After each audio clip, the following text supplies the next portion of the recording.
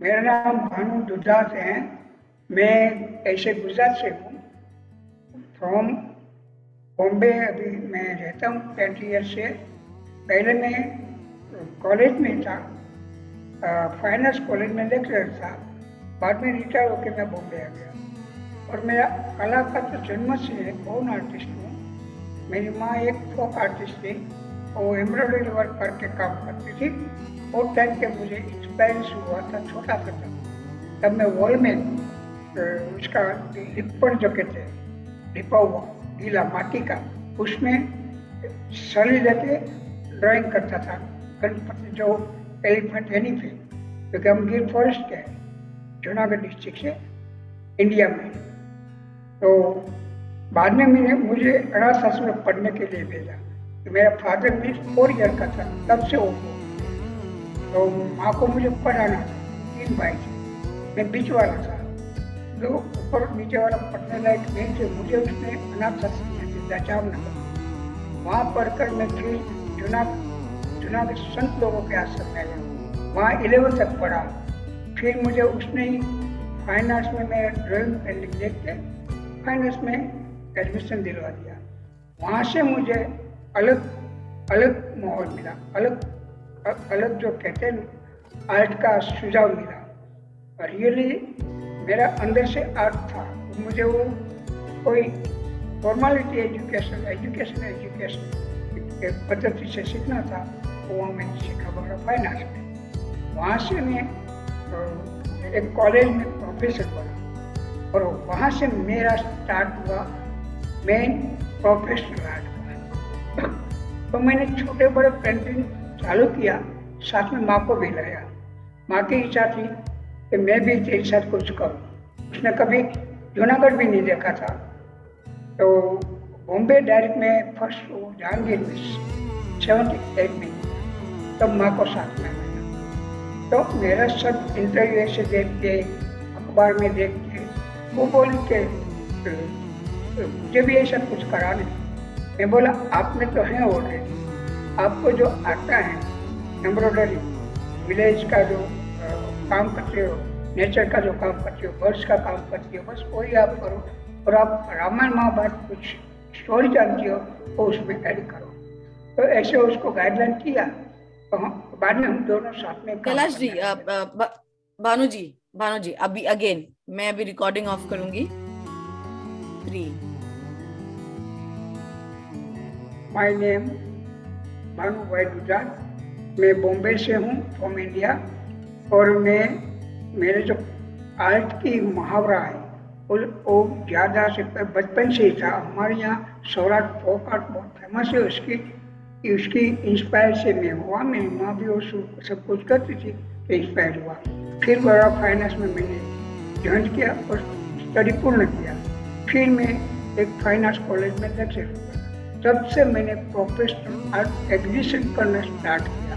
मेरा first work उन्नीस में जहांगीर गैलरी में एक, दो, तीन करते करते ट्वेंटी एग्जीबिशन मैंने जहांगीर आर्ट गैलरी में किया। वहाँ से मेरा कलेक्शन एयर इंडिया प्राइवेट कंपनियाँ बहुत प्राइवेट कलेक्शन ऐसे बहुत सारा मुझे रिस्पॉन्स मिलने लगा।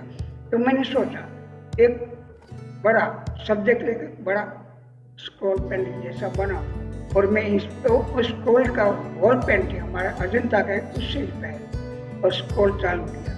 तो स्क्रॉल में स्टेप बाय स्टेप करता गया। अभी तक मैंने ये ये जो पीछे मेरा पेंटिंग है, वो मेरा ट्वेंटी वन स्क्रॉल है ये जो सब्जेक्ट है ऐसा सेवन सब्जेक्ट का मैंने वर्क किया है। ये मैं पोर्ट्रेट प्रोफ़ाइल वर्क कहता हूँ। पोर्ट्रेट हिस्ट्री वर्क कहता हूँ। कल्चरल को लेके, उसकी व्यक्तित्व को लेके मैं ये काम कर रहा हूँ। मेरा, मेरे, मेरी कला में मेरा, उसका एजुकेशन का ज़्यादा प्रभाव नहीं रहा है। मेरी वहाँ का जो प्रभाव था, वो मेरी पर है। पर वो हमेशा बहुत सारा ऐसा काम करती थी। तो वहाँ से मुझे ज़्यादा प्रेरणा मिली। सेकंड मेरे पहले से ही सिंगल या तीन चार पेंटिंग बनाने का पहले से ही कोई मेरा सब्जेक्ट समावेश नहीं हुआ। क्योंकि मेरे पास इतने अच्छा अच्छा कल्चर है, इतना अच्छा शास्त्र है, इतने अच्छे महापुरुष हो गए तो उसको लेके, जैसे स्क्रोल के एक करने से पूरी एक स्टोरी आ जाती है, एक हिस्ट्री आ जाती है, जो एजुकेशन में उपयोग होता है वो थिंकिंग मुझे अजंता अजंता से मिला और ये लेकर मैंने वास्तविकता में जो हो रहा है, उसको लिया। इसमें ज़्यादा मैं प्रेरित हुआ गांधी जीवन का। तो गांधी जीवन का, गांधी का एक पोर्ट्रेट जिसके अहिंसा के लिए संदेश लिया है काम के लिए संदेश लिया है, उद्यम के लिए संदेश दिया है हाई फाई से सिंपल रहने का जीवन का संदेश दिया है, उसको फॉलो कौन कौन वर्ड में है? उससे मैं ज़्यादा इम्प्रेस हुआ। मैं एक महीने पहले, यानी अप्रैल में दुबई आया, देखा, बहुत सारा दुबई की बात हो रहा था। मुझे स्वप्न नगरी जैसा लगा। उसमें ज़्यादा मुझे इंस्पायर नहीं हुआ। पर मैंने, मुझे यह लगा कि ये व्यक्ति कौन है?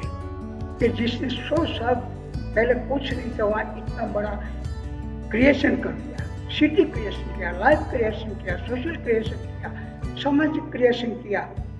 ये जो सालों से आगे उससे अप हो गए। ये व्यक्ति को ये किसने ये किया होगा? जब मैंने उसके अंदर गया स्टडी किया, तब उसका बाप दादा का थोड़ा फोटोग्राफ रीडिंग पर करने मिला। फिर मैंने धीरे धीरे आगे गया तो अलग अलग उसका मुझे जो जो जो उसकी साथ चाहिए वो वैसा ये मैं इसको कहकर पोर्ट्रेट पोर्ट्रेट चित्र कहता हूँ। यानी व्यक्ति चित्र कहता हूँ। फेस ये पोर्ट्रेट चित्र नहीं, ये फ़ोटो है। तो व्यक्तित्व व्यक्तित्व बताओ। वो समाज में उपयोग हुए एजुकेशन में उपयोग हुए। लोग उसको इससे प्रेरित हुए। वैसा आर्ट करने का मुझे बहुत इंटरेस्ट है, क्योंकि मैं बड़ा फाइनेंस में पढ़ा हूँ। बड़ा फाइनेंस में टोटल मॉडर्नाइज है मॉडर्नाइज वर्क एलिमेंट एलिमेंट है। वो कोई ऐसा नहीं कि इससे आप कुछ कर सको। कोई एक कंस्ट्रक्शन है आर्ट का सिखाते हैं एलिमेंट्री हमको जो करना है ओन क्रिया से वो ऐसे सब्जेक्ट लेकर हम करें तो समाज को बहुत कुछ दे सके। ये सोच के इसका जीवन का स्टडी मैंने किया। शेख जायद खलीफा का पूरा स्टडी किया। दूसरी बात यह है कि मैं दुबई से एक महीनों लेके गया। तो मुझे लगा मैंने मुझे यहाँ गैलरी बुक किया था, वो भी कैंसिल करने की इच्छा हो एक डेट तो कैंसिल किया। फिर मैं सोचा, नहीं, मुझे दुबई तो काम करके दिखाना है। क्योंकि इसकी इसकी जो छोटी सी चीज़ भी बहुत बड़ी है, वो तो दिखानी पड़ेगी। क्योंकि मोस्ट क्रिएटेड न्यू है तो मुझे भी न्यू करने की इच्छा आदमी होता है। जो हुआ, उसे हटकर करने की इच्छा होती है। तब मैं छह तारीख अप्रैल को गया और तो मे को गया और तेरह मे को डेथ हुआ। शायद शायद खलीफा का डेथ धक्का लगा। मैंने यह महसूस किया था। धक्का लगा।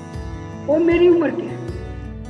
मैं फोर्टी नाइन में जन्मा, वो फोर्टी एट मुझसे एक साल बड़ा। है ऐसा व्यक्ति को मैं क्यों उसका वर्क को आगे दिखा के उसके आगे उसको रख के आगे पीछे पहले जीवन कैसा था, बाद में कैसा बना, वो सोच सोच के एक महीना और स्टडी किया ऑनलाइन पे। फिर मैंने सब इमेज मेरे बेटे को कह के नेट के हिसाब से सब मटेरियल कलेक्ट किया। और रात दिन मुझे डेट मिल गई थी तो वो टाइम पे मुझे यहाँ लाना था।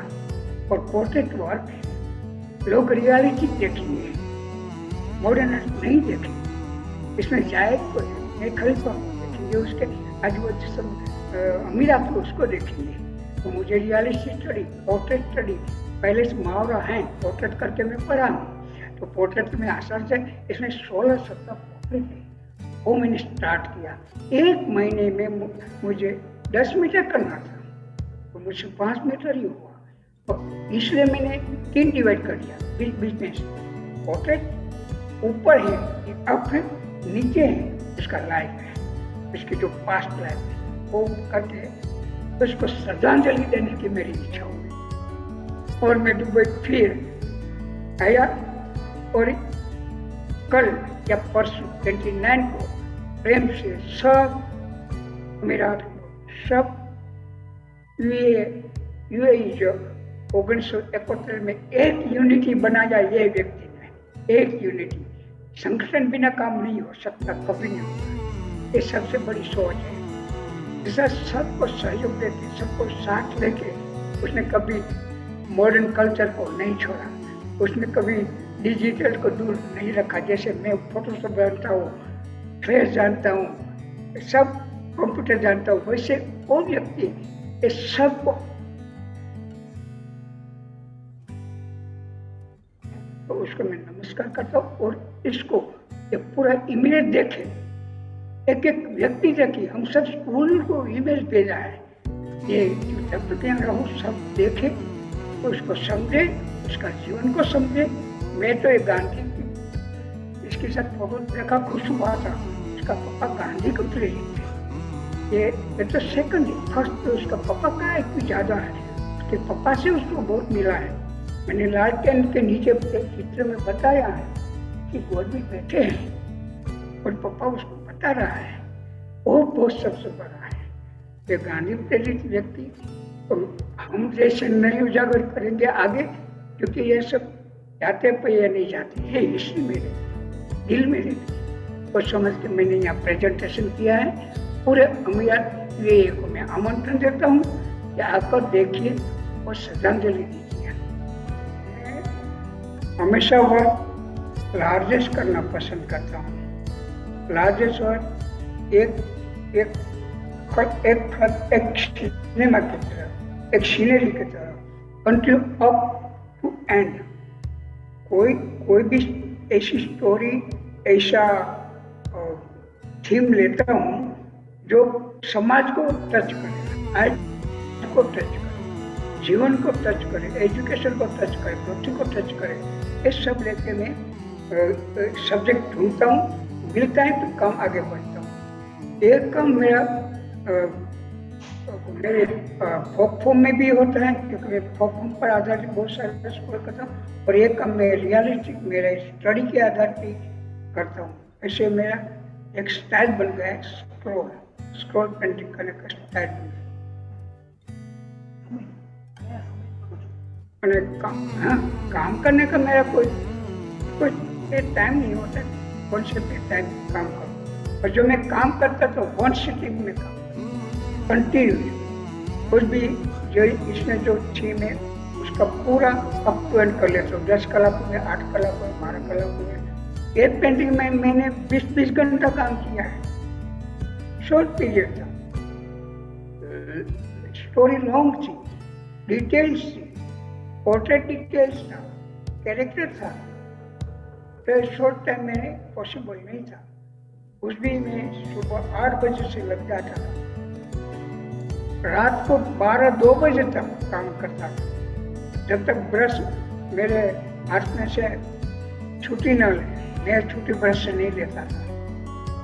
ब्रश छुट्टी लेता था। तब मैं थोड़ा सा वहाँ क्या काम करता हूँ, वहाँ लेट जाता था। मेरी चार पाँच घंटे की नींद है, पहले से।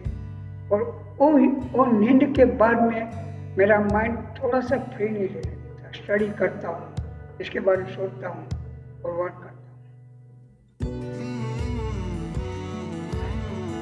मैं मेरे खुद को मोटिवेट करूँ? मैं ये सोचता हूँ, मानो कि यहाँ सो हैं। तो मुझे बहुत सारे लोग कौन ओपनिंग में आने वाले कौन ओपनिंग में आने वाले उसके बारे में मैं पहले से सोचता हूँ, क्योंकि ओपनिंग जो चीज़ करे, वो आना व्यक्ति उससे कितना अप है।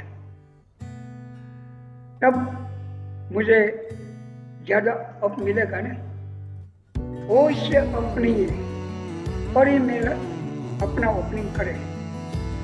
तो इसका मीनिंग क्या हुआ आप समझ सकते हम्म?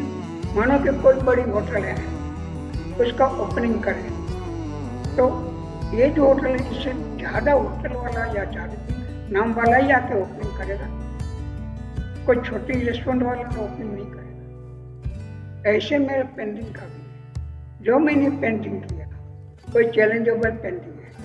ये पेंटिंग आप देखो गूगल में ऐसा लंबा, बड़ा लार्जेस्ट पोर्ट्रेट वर्क साथ में लाइफ क्रिएट कोई पेंटिंग मिले, इससे तो मैं उसे आश्वस्त करता हूँ। तो मुझसे से प्रेरणा मिली ऐसा किया नहीं है। मानो पद्मश्री मिला मानो अवार्ड मिला वो वो मेरे लिए बड़ा नहीं है। कोई अवार्ड कोई पद्मश्री कैसे मिलता है? मेरी ज़िंदगी निकाला है, मुझे मेरे हाथ में से छीन लिया है लोगों तो इससे क्या मुझे मिलेगा? मैं मेरे परिचय दे तब मुझे अवार्ड देते नहीं। ऐसा अवार्ड वाला कोई आएगा वो मुझे पसंद उससे मुझे क्या, मुझे अवार्ड की प्रेरणा नहीं मुझे उसने क्या किया है? मुझे इससे प्रेरणा मिला, बोला से खलीफा से मुझे प्रेरणा मिला वर्क करने का। वो हाजिर नहीं है, उससे ऐसे ओपनिंग करा था। उससे लेवल के जो व्यक्ति, उससे ऐसे ओपनिंग करा था। लेकिन ये मेरे लाइफ से बहुत ऊँचा लाइफ ले गई है खुद का क्रिएशन में। जीवन में क्रिएशन मोस्ट क्रिएट वो आके ओपनिंग करेगा तो खुश हो तो मैं ऐसे व्यक्ति को क्यों बुलाऊ? कि जो जो जाने दो, ये बात मैं नहीं करना चाहता तो मैं मोटिव खुद को करना हमेशा कोशिश किया है, और मुझे सफलता मिली। इतना अच्छा क्वेश्चन किया है कि पूरी कला जगत कलाकारों को ये समझना चाहिए कि वो किसमें सफलता मानते हैं। मैं सफलता मानता ही नहीं पहली बात, जो मैं सफलता मान लिया, बात खत्म। मैं ओपनिंग करने चला जाऊँगा। मैं वो देने के लिए चला जाऊँगा। मैं कुछ नहीं करूँगा। ये गलत है कि हम सफल हैं। कलाकार, कला में सफलता होता ही है। पाँच रंग को पहचाना, दो लाइन किया, सफलता, पाँच अवार्ड मिला। पाँच पद्मश्री मिला। सफलता? नौ नहीं। ये सफलता नहीं है। सब पब्लिक उसको अप्रोच करे। लोग उसको समझे। लोग उसको जाने। लोग उसका वर्क की राह देखते हैं। जेल में रहता जहांगीर में। जहांगीर में ने उन्नीस एग्जिबिशन किया। इंडिया की सबसे फ़ेमस गैलरी फ़र्स्ट बुकिंग साढ़े तीन सौ रुपये में किया। वो गैलरी अभी तीन पार्ट में है। और एक का पचास हज़ार प्राइस। तो अभी मैं बुकिंग करके डेढ़ लाख देना पड़ता है। तब फ़र्स्ट बुकिंग किया सेवेंटी एट में साढ़े तीन सौ रुपये में। और ट्वेंटी एग्जिबिशन लगाया वहाँ। अभी बुला के मैं बोलूँ, अब मैं नहीं आऊँगा वहाँ। क्योंकि अब दर्शन ही हो गए। पहले कलाकार के लोग आते थे अच्छा आर्टिस्टिक आते थे। अरे एयर इंडिया टाटा जैसे जो जो वहाँ बड़े लोग, वो भी आते थे। और फ़िल्म स्टार मेरा बच्चन, वो सब आते थे। कोई नहीं आते थे वहाँ। प्रॉब्लम है आर्टिस्ट सफलता होता है। सफल होते नहीं। है और जो सफल समझाए और मिला, वहाँ से खत्म हो गया। खत्म यानी काम नहीं करेगा, कुछ नहीं करेगा। छह हज़ार मीटर पेंटिंग बनाया अभी तक मैंने। एक दो मीटर नहीं, सबसे मेरा बड़ा बारह सौ मीटर है। गवर्नमेंट ने मेरी फ़िल्म बनाया, सेवनटी, नाइन्टी थ्री में। चालीस मिनट की फ़िल्म बनाया। सुरभि वालों ने प्रोग्राम बनाया। बहुत सारे टीवी न्यूज़ बना। बारह सौ मीटर पेंटिंग गवर्नमेंट ने कलेक्शन में किया। वो पेंटिंग ब्रिटिश काउंसिल, दक्षिण अफ्रीका में। वो टाइम पे चौदह लाख पाउंड में हो जाने वाली थी। हमारी गवर्नमेंट पे बजट नहीं था। जितना बजट था, उसमें मैंने वो पेंटिंग में कलेक्शन में दे दिया। वो बोला इंडिया बाहर बहुत सारी चीज़ गई है तो रेयर पेंटिंग नहीं जाना चाहिए। तो नहीं जाने दूँगा रखो। तो इसके बाद तो कल इंदिरा गांधी जीवन दर्शन गांधी जीवन दर्शन दिन बाद रामा स्कॉल पेंटिंग दिन बाद वो जर्मनी में कलेक्शन है, ऑस्ट्रेलिया में कलेक्शन है, लंदन में कलेक्शन है, और इंडिया में सेवन पेंटिंग कलेक्शन है। तो ऐसे, मुझे संतोष ही नहीं होता, मुझे तो ये हो जाए ना उसका कहा है? उसका स्थान से वहाँ चला जाए ना तो मैं तो अमीरात का आप, आपको एक बात बताऊँ। शायद बहुत कम लोगों ने सुना होगा। यहाँ की हिस्ट्री इजिप्ट से पुरानी है। सात हज़ार साल पहले की हिस्ट्री यहाँ की है, स्कल्पचर की। यहाँ से 400 किलोमीटर दूर एक पहाड़ है, केमल हिल कहते हैं। केमल का पूरा स्कल्पचर है। बहुत बढ़िया स्कल्पचर है। पूरा केमल है। इतना बड़ा स्कल्पचर हमसे बाहर नहीं आया। उसमें से बहुत सारी प्रेरणा लेनी है। उसमें से बहुत सारा काम करना है। ये ये जब मैं सब इसमें अंदर जाता हूँ ना गूगल में अंदर गूगल में बहुत बड़ा मैदान है। उसमें जितना जाता हूँ, जितना मैं करना चाहता हूँ, उतना कम है। और जो इसमें मुझे पूरा रिस्पॉन्स मिला तो मैं आपको कहता हूँ एक दिन इतना वर्क लेके लाऊँगा कि सब गैलरी भी छोटी पड़ेगी ऐसा कर कुछ करके लाऊँगा, वो करना है मुझे एक दूसरा कॉन्सेप्ट है, वो भी डिक्लेयर नहीं करूँगा।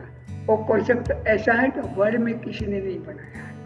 ऐसा कॉन्सेप्ट यहाँ है और ये कॉन्सेप्ट मेरे माइंड में है। और जब निकालूँगा ना अभी आपने सदस्य स्टेचू नाम सुना, वो कॉन्सेप्ट मेरा बनाया हुआ चोरा हुआ है।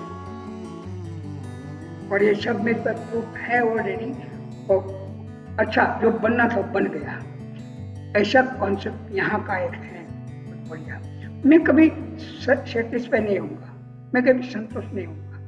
वर्क में वर्क में संतुष्ट नहीं होऊँगा करते रहूँगा। जैसे जैसे चांस मिला जैसे जैसे मौका मिला और आप लोगों ने मुझे बुलाया। आपका भी बहुत बहुत आभार। थैंक यू अब मैं आपका रिकॉर्डिंग हाँ।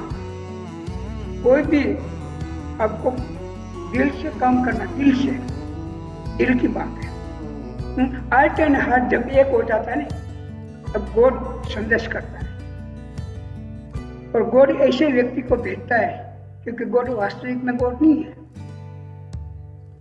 वास्तव में इंसान है इसको द्वारा उनको ये सब मदद मिलता है। तो मेरा जर्मनी जब पेंटिंग गया और वह सेल हुआ और रिटर्न आया तो हमारा यह इंटरव्यू हुआ। तो सारा आप जैसी बहनों ने लिया। तब तो मेरा सम्मान स्टेट बैंक ऑफ़ सौराष्ट्र ने किया, भावनगर। तो मुझे बुलाया और सम्मान में फ्लावर दिया वो थैंक यू फ्लावर मेरा सम्मान फ्लावर मेरी फॉरम है और वही हिसाब से आपने मुझे बुलाया है। हाँ फोरम कब होती है? फ्लावर कब होता है? जब इसमें कुछ खाद डालो तो अरे आप क्या कहना चाहते हो? मैं ये कहना चाहता हूँ कि जर्मनी वालों को मैं कह के आया हूँ, उसका क्यूरेटर को, कि मैं दुनिया का सबसे लंबा पेंटिंग बनाऊँगा आपने जो अठारह मीटर लिया है ना मैं दुनिया का सबसे लंबा पेंटिंग बनाऊँगा। तो आप वो, वो बोले थे मुझे उनको बनाऊँगा। और वो ये लोगों को मैंने बोला कि मेरा पगार बारह सौ रुपया और इतना बड़ा कापड़ बारह सौ पंद्रह सौ मीटर लेना है। तो मैं नहीं ले सकता मुझे कापड़ दिलवाओ कैमरा दिलवाओ तो मैं काम करूँगा वो खुश हो गए चेयरमैन माँ और बोला, मेरी ब्रांच मैं सिटी के ब्रांच वाले को बोला कि इसको जितना चाहिए लगा पर ले लो। डायरेक्ट मिल में से वो कहे वहाँ से मंगवा सेंट्रल मिल का कापड़ मैंने मंगवाया, बारह सौ में ट्रक भर के घर पे आया। घर छोटा था, एक ही रूम था, एक छोटा रूम था, पूरा रूम भर गया का कपड़ का।